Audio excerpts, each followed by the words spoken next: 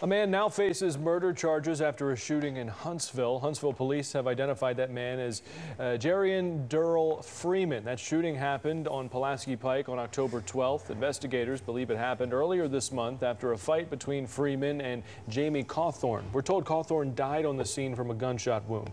Freeman has been booked into the Madison County Jail without bond.